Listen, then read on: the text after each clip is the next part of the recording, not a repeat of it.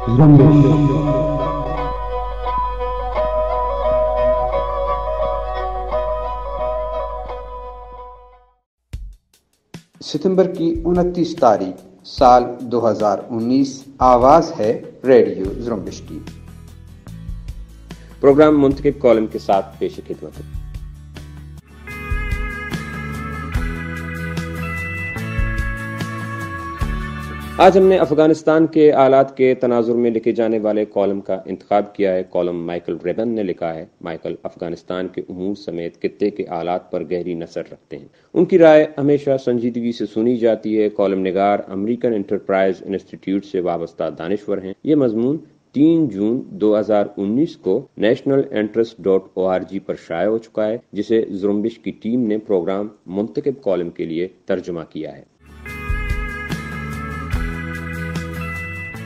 طالبان اور امریکہ کے درمیان مذاکرات کے خاتمے کے بعد خطے کا سیاسی منظرنامہ بدل چکا ہے۔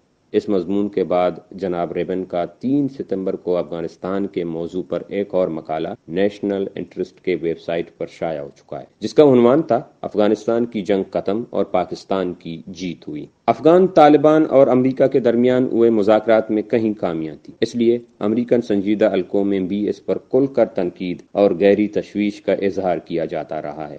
اپنے تین ستمبر کے مضمون میں مائیکل ریبن نے اس تشویش کو ایک لائن میں پرو کر بیان کیا۔ ایک کلا راز، حتیٰ کہ ان لوگوں کے درمیان بھی جو ٹرمپ کے لائن کو جوڑ رہے ہیں۔ وہ یہ کہ طالبان کے ساتھ سمجھوتا امریکہ کو واپسی کا راستہ دے گا، لیکن امن نہیں۔ جب آپ کی سماحت تک یہ پروگرام پہنچ رہا ہوگا، شاید زمینی صورتحال میں کہیں ڈرامائی تبدیلیاں رونما ہو چکی ہوں۔ امریکہ اور طالبان کے درمیان مذاکرات کے حوالے سے ان خدشات نے حقیقت کا روپ دہارا جن کا اظہار مائیکل ریبن اور دیگر دانشمند کر چکے تھے۔ لیکن ٹرمپ کو مذاکرات کے اختتام کے لیے افغان حکومت کا دباؤ کام کر گیا۔ افغان حکومت نے ٹوس دلائل کے ساتھ ٹرمپ کو یہ باور کرایا کہ اس کا پروگرام افغانستان اور امریکہ کے مفاد میں نہیں۔ اور اس تشویشناک صورتحال کو امریکہ کے سامنے پیش کیا کہ ان مذاکرات کے نتیجے میں طالبان کا مورال اس قدر بلند اور افغان حکومت کا اس قدر گر چکا ہے کہ افغان فورسز کے کئی افسران نے طالبان کو خفیہ پیغام بھیجا تھا کہ مذاکرات کی کامیابی کی صورت وہ طالبان کی حمایت کریں گے۔ افغان حکومت پاکستان سے قائف ہے یہ افغان حکومت کے ہی دباؤ کا نتیجہ تھا کہ افغان عمل کے مذاکرات کے ٹیبل سے پاکستان کو دور رکھا گیا۔ شنید ہے کہ افغانستان کے صدر اشرف غنی نے پاکستان کو دو ٹوک الفاظ میں دمکی دی تھی کہ اگر پاکستان نے افغانستان کے معاملات میں دخل اندازی کی تو افغان صدر بلوچ آزادی پسندوں کو اپنی جاز میں بٹا کر مودی کے پاس لے جائیں گے۔ یہ باتیں سلیم صافی نے بھی اپنے ایک کالم میں لکھی ہیں۔ بلوچستان کارڈ خطے میں ہمسایہ ممالک کے درمیان بلیک میلنگ کے لیے استعمال ہو رہا ہے۔ ہندوستان نے واضح طور پر اس کارڈ کو کھیلا ہے۔ عالیہ کشمیر معاملے پر بھی یہ رائے موجود ہے کہ ہندوستان نے در پردہ پاکستان کو یہ کہا ہے کہ پاکستان کی کشمیر سے دستبرداری کی صورت ہندوستان بلوچستان کے معاملات سے دور رہے گا۔ ہم نے جون میں شائع ہونے والے اس مضمون کا انتخاب اس کے عنوان میں دلچسپی کی وجہ سے کیا ہے، جس میں پاکستان کے خطے میں کردار کا احاطہ کیا گیا ہے۔ مضمون میں بیان کیا گیا ہے کہ پاکستان کا بنیادی نظریہ کس طرح بنگلہ دیش میں قومی سوال سے آر گیا اور اس کے نتیجے میں پاکستان نے جو پالیسی اختیار کی، اس کی وجہ سے پاکستان مزید مشکلات کا شکار ہو چکا ہے۔ مضمون پیش کریں گے دوستین مراد بلوچ۔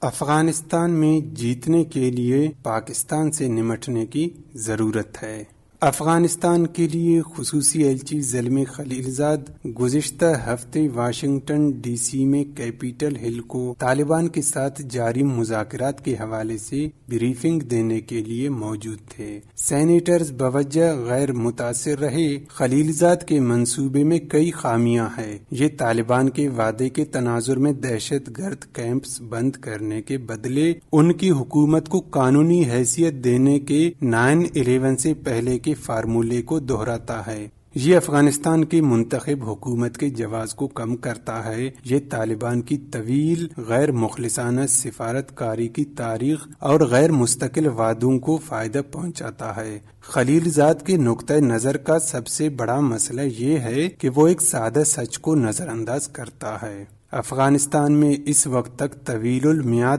امن ممکن نہیں ہو سکتا کہ پاکستان افغانستان کے استحکام کو نقصان پہنچاتا اور انتہائی پسندی کی مدد کرتا ہے۔ اس لیے خلیل زاد کی حکمت عملی کا گمشدہ ٹکڑا یہ ہوا کہ پاکستان کو کس طرح نکیل ڈالنا ہے۔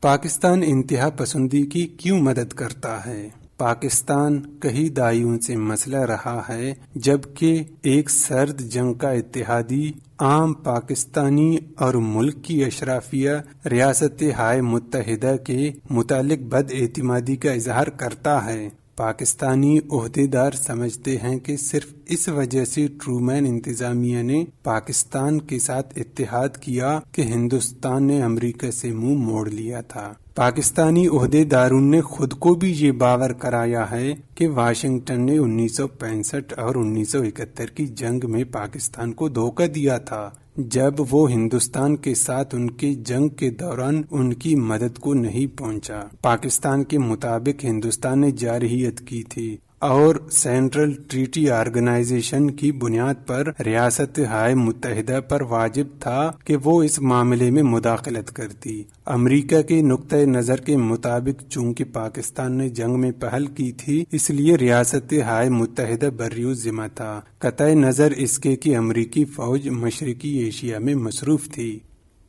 انیس سو اکہتر میں بنگلہ دیش کی علیحدگی نے پاکستان کی بنیادوں کو ہلا دیا۔ بہرحال پاکستان کا معنی تھا ایک اسلامی ریاست، لیکن بنگلہ دیش کے قیام نے دونوں کو یہ دکھا دیا کہ نسلی قوم دوستی کتنی طاقت رکھتی تھی۔ اور کس طرح یہ ملک کی بقا کے لیے خطرہ تھا، تب سے پاکستانی فوج نے بڑے پیمانے اور آئی ایس آئی نے خاص طور پر یہ نتیجہ اخذ کیا کہ پاکستان کی سیکیورٹی اسلامی بنیاد پرستی کی پھیلاؤ پر منحصر ہے، تاکہ مذہب ملک بھر میں بنیادی نسلی شناخت کے درمیان حائل ہو۔ اس سے افغانستان متاثر ہوا۔ وجہ سادہ ہے کہ پاکستانی حکام ایک مضبوط مستحکم افغانستان سے خوف زدہ ہیں، جو پاکستانی اقلیتی پشتون آبادی کے لیے پرکشش بن سکتا ہے۔ سوویت در اندازی کے بعد پاکستان نے سوویت مخالف وسیع تر صف بندی کے لیے افغان قوم دوستوں کے بجائے پشاور سیون مجاہدین کو طاقتور بنا کر مذہبی عناصر کی مدد کی۔ امریکہ کے پاس سوائے اکیلے آگے بڑھنے کے کوئی راستہ نہیں تھا، کیونکہ اس وقت افغانستان کو امداد کی فراہمی کے لیے آج کی نسبت زیادہ تر پاکستان پر انحصار تھا۔ کیونکہ اس وقت ایران انقلاب کی زد میں تھا اور وسطی ایشیائی ریاستیں ابھی تک سوویت یونین کے تسلط میں تھیں۔ آغاز میں پاکستان نے گلبدین حکمت یار کی مدد کی، کیونکہ وہ ایک اسلام پسند نسلی، پشتون اور منتشر رجحان رکھنے والے تھے۔ جب تک امریکہ نے اس سے ہاتھ کھینچ لیا اور تب پاکستان نے بطور ساتھی طالبان کا انتخاب کیا۔ البتہ ملک کی روایتی دانش مندی کے برعکس امریکہ نے جن کی کبھی حمایت نہیں کی جبکہ جارج ڈبلیو بش کی انتظامیہ نے اس امید کے ساتھ حامد کرزئی کو اقتدار کی طرف دھکیل دیا کہ وہ افغانستان کے متعدد اکائیوں کو جوڑ دیں گے۔ پاکستانی حکومت نے شروع ہی سے افغان استحکام اور امن کے درمیان طالبان کو رکاوٹ بنا کر ان کو مدد دی۔ قطع نظر اس کے کہ پاکستانی سفارتکار اور سیاسی عہدے داروں نے کیا کہا۔ آئی ایس آئی نے وسیع پیمانے پر امریکہ کے خلاف افغانستان میں بنیاد پرست گروہوں اور طالبان کی مدد جاری رکھا۔ مسئلہ پاکستان کیسے حل کریں؟ تو کیا کرنا ہے؟ نہ ہی صدر ڈونلڈ ٹرمپ اور نہ ہی امریکن رائے دہندگان اس معاملے کے لیے سالانہ تیس بلین ڈالر سے زائد رقم کے ایوز افغانستان میں قیام کرنا چاہتے ہیں۔ تاہم، یہ ایک برے معاہدے کے لیے بات چیت یا پس پردہ ہتھیار ڈالنے کو عقل مندی سے تعبیر نہیں کرتا۔ ریاست ہائے متحدہ ایک وجہ سے افغانستان میں ہے۔ القاعدہ اور اس کے ہم خیال گروہوں کو اس کی سرزمین کو امریکہ پر حملے کے لیے استعمال کرنے سے روکنے کے لیے۔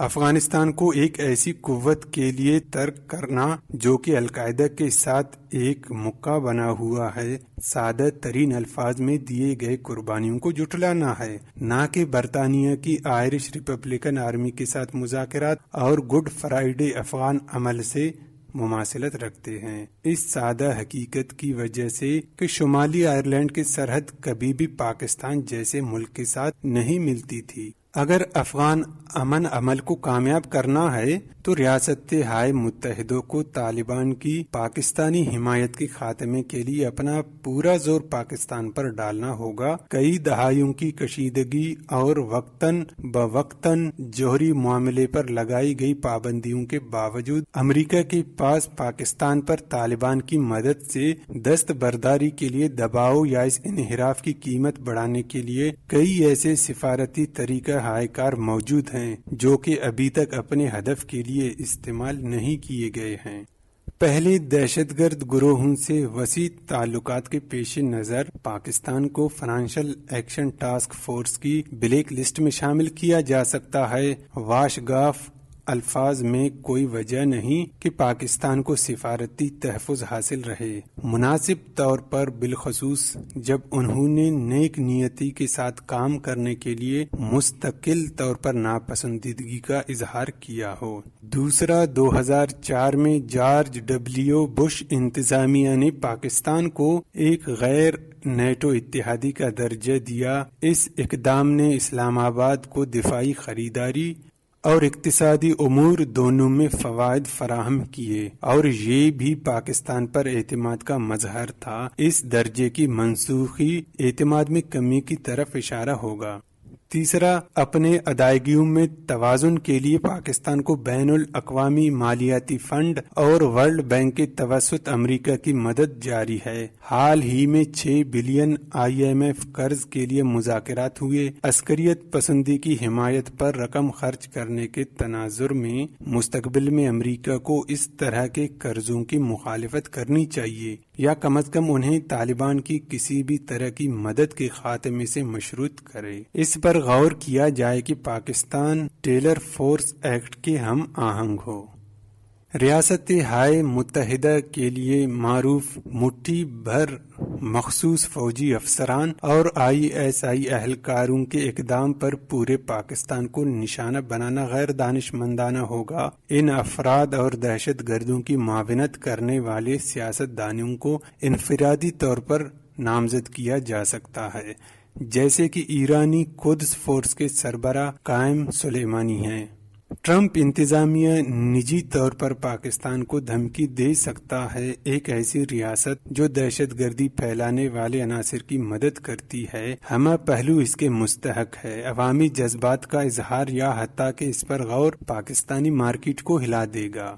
آخر کار امریکی فورسز کا افغانستان میں اپنی انسداد دہشت گردی کی لڑائی میں ابھی تک پاکستان میں طالبان کے مراکز پر حملہ کرنا باقی ہے، جبکہ امریکن ملٹری پاکستانی سرزمین کی خلاف ورزی کر چکی ہے۔ مثال کے طور پر اسامہ بن لادن کو مارنے کے مشن کے دوران جسے پاکستانی حکام چھپا رہے تھے، اس سے افغانستان کی لڑائی کبھی پاکستان میں منتقل نہیں ہوئی۔ ایسا کر گزرنے کا وقت آ سکتا ہے اگر صرف پاکستان کو طالبان کو محفوظ پناہ گاہیں فراہم کرنے کی قیمت کے طور پر اشارہ دیا جائے۔ اور اسلام آباد کو بھی یہ کہ پاکستان دہشت گردی کے کیمپوں کو نشانہ بنانے سے محفوظ نہیں رہے گا کیونکہ افغانستان میں امریکہ کے انسداد دہشت گردی حکمت عملی قبضے سے افقی حالت میں منتقل ہو سکتی ہے۔ پاکستان ایک ایٹمی طاقت ہو سکتا ہے، لیکن یہ ایک ایسا اقدام ہے جس کو ہندوستان نے پاکستانی دہشت گردی کی حمایت کے نتائج کو واضح کرنے کے لیے استعمال کیا۔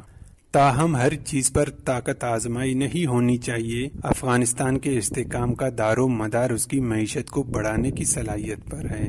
لیکن پاکستان کی جانب سے افغانستان کو اپنی پیداوار کو، بھارت کو برآمد کرنے کے قابل بنانے سے انکار کرنا افغانستان کی معیشت کو گھٹا دیتا ہے۔ اور افغانستان کو ایران کے ساتھ زیادہ سے زیادہ تعاون کی طرف دھکیل دیتا ہے۔ شاید تب پاکستان کے مزید مثبت طرز عمل کی ہمت افزائی کے لیے افغانستان کو ہندوستان سے تجارت کی اجازت دینے کے بدلے افغانستان کے راستے پاکستان کو وسطی ایشیائی ریاستوں تک رسائی کا معاہدہ ہو سکتا ہے۔ جنوبی ایشیا زمین پر معاشی طور پر سب سے کم مربوط خطوں میں سے ایک ہے۔ امن کی خاطر اس کی اصلاح ضروری ہے۔ ناکامی کے دہانے پر ڈگمگانا۔ صدر ڈونلڈ ٹرمپ اور قومی سلامتی کے مشیر جان بولٹن نے اپنے آپ کو ان معاہدوں اور قراردادوں سے الگ کرنے پر فخر کیا ہے، جس سے امریکہ کو کوئی فائدہ نہیں ہوتا۔ دونوں نے صدر بارک اوباما اور سیکرٹری خارجہ جان کیری پر ایران کے ساتھ ایک برے معاہدے کو معاہدہ نہ ہونے پر ترجیح دینے کے معاملے پر تنقید کی ہے۔ پھر یہ ستم ظریفی ہے کہ ٹرمپ اور خلیل زاد ایک ایسے سمجھوتے کی طرف بڑھ رہے ہیں جس سے مشترکہ جامع پلان آف ایکشن یا نیا اسٹریٹجک تخفیفی اسلحہ کا معاہدہ کھوکھلی ثابت ہوگا۔ بیک وقت غیر معینہ مدت کے لیے افغانستان میں رہنا فوجی اور معاشی دونوں لحاظ سے غیر دانش مندانہ ہے۔ سفارت کاری ایک کردار ادا کرتی ہے، لیکن اگر وہ پالیسی سازوں کو حقیقت کے بجائے اندھیرے میں رکھے تو یہ کام نہیں کر سکتی۔ پاکستان اتحادی نہیں ہے اور اس وقت یکساں سلوک نہیں کیا جانا چاہیے۔ اگر یہ پاکستانی پالیسی نہ ہوتی تو شاید افغانستان آج کہیں زیادہ مستحکم ہوتا، افغانستان کے استحکام اور اپنی سرزمین کو دہشت گرد گروہوں کو دینے سے انکار، شدت پسندوں کی پشت پناہی روکنے کے لیے ایک پرخلوص پاکستانی معاہدے کی ضرورت ہے۔ اور اس کا مطلب یہ کہ تقریباً دو دہائیوں کے بعد پاکستان سے نرم رویہ اختیار کرنے کے بجائے سختی کی جائے، یقینی طور پر اس طریقہ ہائی کار میں خطرات ہے مثلا امریکہ کو پاکستان کو چین کے کیمپ میں دھکیلنے کے بارے میں فکر مند ہونا چاہیے، لیکن حقیقت یہ ہے کہ پاکستان کا چین کی طرف جھکاؤ امریکی اقدام سے قطع نظر ہوا ہے، نہ کہ اس کی وجہ سے۔ اس لیے طاقت آزمائی میں ایک وقفہ ہونا چاہیے۔ پاکستان کو راستے پر لانے کے لیے کسی حکمت عملی کی عدم موجودگی میں ٹرمپ اور بولٹن خلیل زاد کو اس عمل پر عمل کے لیے کہیں۔ ہتھیار ڈالنے پر نمائشی رد عمل اور امریکن سرزمین کے خلاف مزید دہشت گرد کارروائیوں کی ایک دعوت۔ آپ ریڈیو اردو سے پروگرام منتخب کالم سن رہے تھے اسی کے ساتھ اجازت چاہتا ہوں۔